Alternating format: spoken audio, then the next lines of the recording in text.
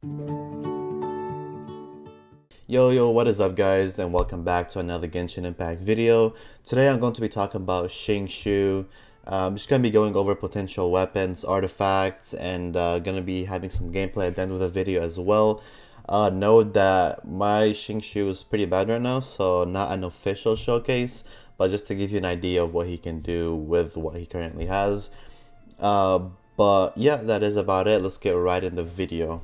Alright, first let's take a look at his stats. He's currently running around 40 Elemental Mastery. That's really bad for a unit like Xingqiu, so you definitely want to do at least 100 I guess.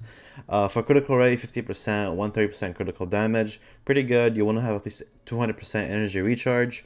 So uh, only 150 right now. I'm doing 81% hydro damage and around 1500 attack. Alright, and for the swords, I am currently using the Festering Desire. Now this is not his best in slot, or so I don't think, because it does boost his elemental skill damage. You want something that focuses more on getting his ultimate, aka the Sacrificial Sword. If uh, this skill right here or passive does proc, you can actually do 2 E's and you can instantly get your elemental burst and uh, you can just have it more uh, more uptime on it. With this one, it just boosts your damage, which is nice, but it's not it's not his main uh, niche on uh, Xingqiu. Another thing you can have is a Favonius sword. Unfortunately, I did discard mine somehow. I have no idea, but I did lose my sword, and I don't have it anymore. But um, I will show it up on the screen. It basically just gives elemental particles. I'm pretty sure every time you critical hit, and uh, that will help you get your ultimate a lot faster. So that's also good. But like I said, sacrificial sword is probably gonna be the way to go. Alright, as for the artifacts, you guys can probably guess what I'm about to say. Um, you can do a four-piece Noblesse. That's what pretty much everybody does with uh, Shu, unless you are using him with another character like Bennett, who does use a four-piece noblesse. Or I'm pretty sure Mona does uses it too. I don't use her, so I have no idea. But uh, yeah, for me, I am going to be using two-piece Hydro, two-piece Noblesse for that little extra damage. And I do have a Bennett on the team, so that's another reason. What you mainly want to prioritize is uh, critical rate, critical damage, energy recharge, elemental mastery, and if you care about your Xingqiu healing at all, you do want to go for HP. And uh, Hydro damage on the cup is very important as well. I am experimenting with putting energy recharge on my watch since when you do ascend Xingqiu, you do get attack as your ascension. So maybe he doesn't lose that much attack. I'll still have to test that, but definitely consider doing energy recharge on his watch uh, but make sure you still have more than 1500-ish attack. That's a good spot to be. Uh, if you can get it to 2000, that is also very good, but you don't really want to go more than that. Alright, uh, for constellations, mine is level 0, but uh, C1 is nice, just adds the extra sword. Pretty simple, and um, for this level 2, it just it decreases his hydro resistance and also increases the duration. That's very cool as well, and uh, this is for your ultimate. Uh, for this one, just uh, levels up your ultimate. Or is that your ultimate? I'm pretty sure it is. Yeah, Guhua Rain Cutter. Okay, so your ultimate by 3, that's actually huge. And for this one, it's just going to increase your E ability when you use your ultimate. So that's actually a huge boost if you do have a C4. You just pop your Q and then pop your E right after to build some energy recharge and do some massive damage. And uh, for this one over here, so just increases your E ability. And for this one, uh, it just increases your damage and uh, gives you energy recharge as well. So very good overall. Uh, let me pull up some gameplay with uh, the gear I have as of now. Alright, just to test some damage numbers with Xingqiu. Gonna take him to floor 10 in Abyss alone and then we'll uh, see how he does in a normal team composition.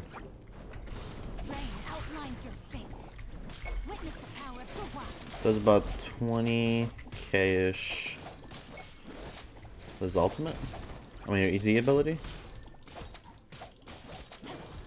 It's a lot more than I was expecting, not gonna lie. Uh, his ultimate does around 3 to 6k criticals. It's a huge uh, barrier difference, but I guess that's fine. Alright, so my Xingqiu does not have that much energy recharge. So uh, I will be using, I, I will have to get two E abilities to get his uh, ultimate.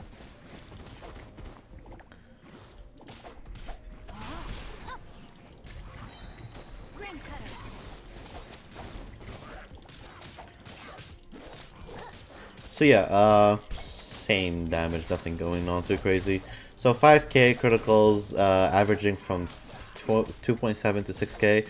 I assume that just stability works. Some hits just hit harder than others. Uh, I don't think it has anything to do with my set in particular. But uh, yeah, let's go ahead and go jump into some actual uh, fights. Alright, so we're in the Hydro domain. Now this isn't, probably isn't the best place to showcase something like Xingqiu just because everybody is cryo, but uh, a lot of people are doing this right now, and I do just want to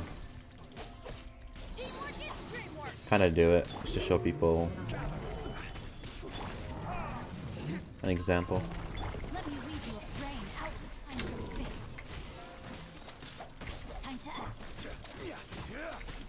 So it doesn't really matter what character you have or how strong they are, as long as you attack,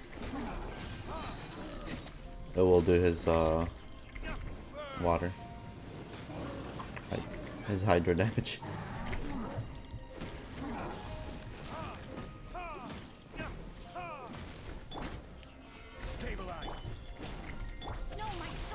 Should be my ultimate here, I believe.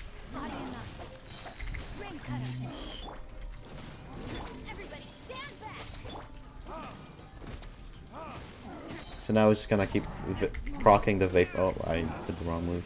It's gonna keep procking vaporize now every time you hit.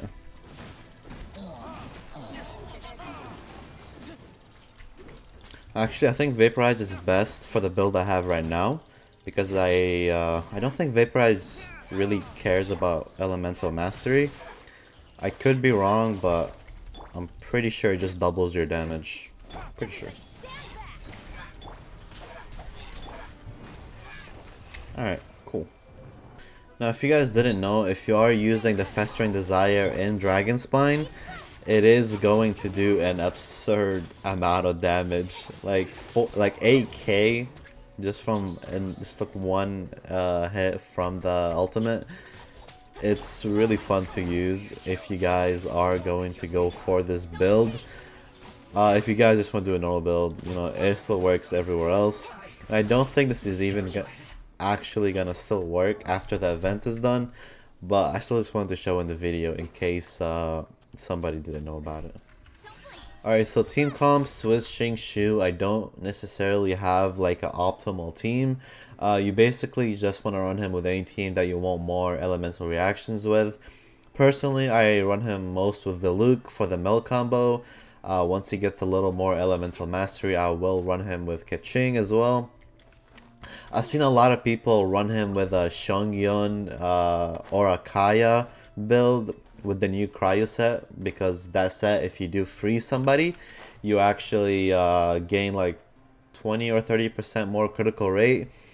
And uh, so you basically just pop Xingqiu's ultimate and then you do uh, your Kaeya freeze or your Xiangyun freeze and you get like 80% critical rate or something insane. But you can also do something like that uh, but honestly, you can just throw him any team and he'll be okay. Uh, definitely, um, Showcase will be coming out for him as soon as I can get some decent artifacts.